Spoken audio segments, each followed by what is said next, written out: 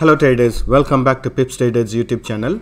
Today in this video, we are going to be doing daily technical analysis in gold. First we look at the economic calendar for today, then we'll start with our gold analysis. So when we look at today's calendar, today is Tuesday, March 8.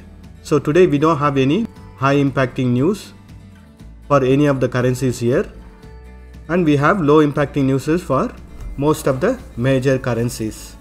Let us start with our gold analysis.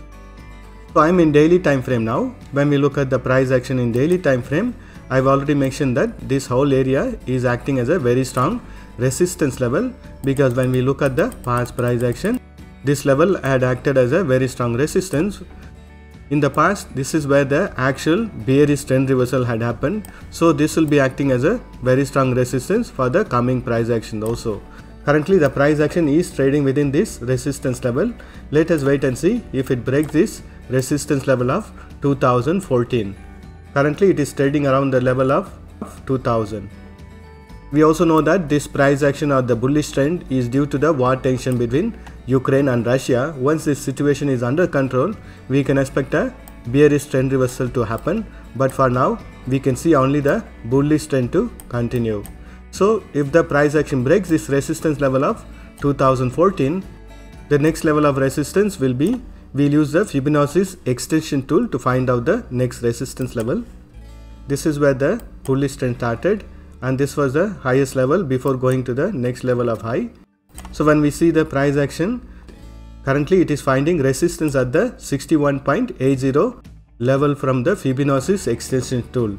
And if the price action retraces, we know that this level of 1973 will be acting as a strong support because previously this level had acted as a resistance.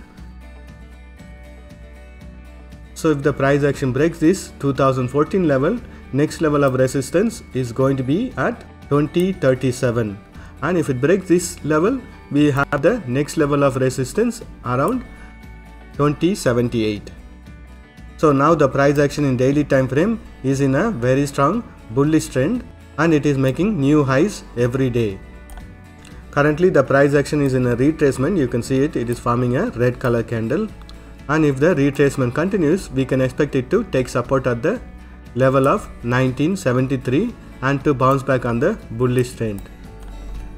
Let us do the analysis in hourly time frame. So I'm in hourly time frame now. When we look at the price action in hourly time frame, I've drawn another resistance line or the trend line over here. The price action every time it tests this resistance line, you can notice that it has bounced back.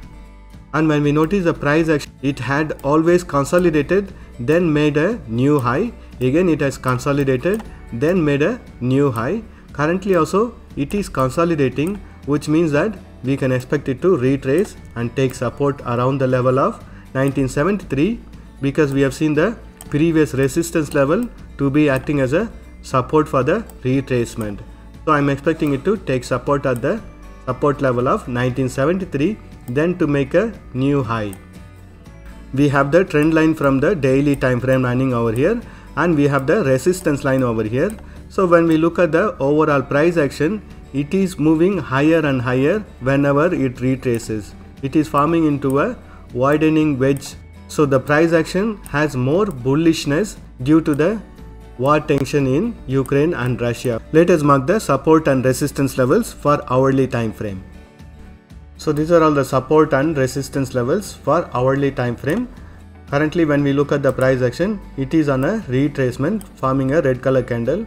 We can expect it to take support at the support level of 1980 which is the next support level in hourly time frame and we have noticed that this level had acted as a strong support in the past also. So if the price action takes support at this level we can expect it to start its bullish trend from this level. Let us do the analysis in 30 minutes time frame. I'm in 30 minutes time frame now. When we look at the price action in 30 minutes time frame we have the higher time frame resistance and support levels over here. And previously the price action was in a very strong bullish trend and took resistance on the resistance line from the hourly time frame and it is on a retracement or it is in a consolidation. I have also drawn the trend line or the support line over here and if the price action retraces also we can expect it to take support on this trend line then to bounce back on the bullish side and when we look at the past price action also it always makes a double top or triple tops then goes on a bullish trend currently also you can notice that it is making a triple top we can expect it to come and take support on this trend line then to continue its bullish trend. So whenever it makes a triple top or the double top pattern we can expect a retracement to start. Currently the price level of 2002 is acting as a strong resistance for the current price action. And when we look at the price action it is forming into a triangle pattern and it is consolidating we can expect it to break this resistance line and to continue on a bullish trend as long as the war tension continues. Let us mark the support and resistance levels. So these are all the support and resistance levels for the 30 minutes time frame. Currently the price action is in a retracement. We can expect it to take support on this trend line or the support line then to bounce back on the bullish trend and if it continues its bullish trend the first level of resistance is going to be around 2002 and it has to break this resistance level in order to test the next level of resistance which is from the higher time frame 2014 and next level of resistance is going to be around 2024. Currently the price action is only on a retracement. It is not a bearish trend reversal for now. Let us do the analysis in 5 minutes time frame.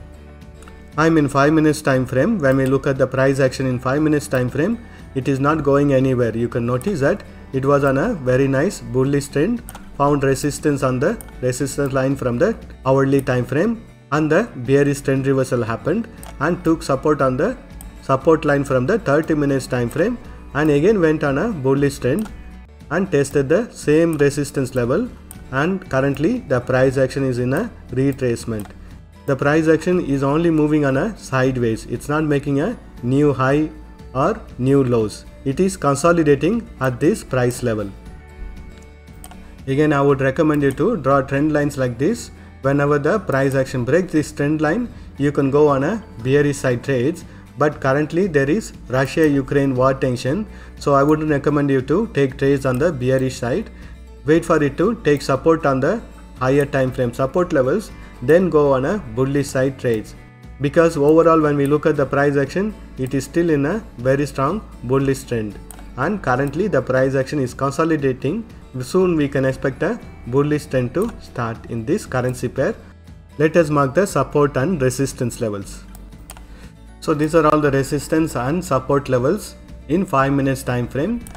Thank you for watching this video. If you have found this video to be useful Press that like button and share this video with your friends.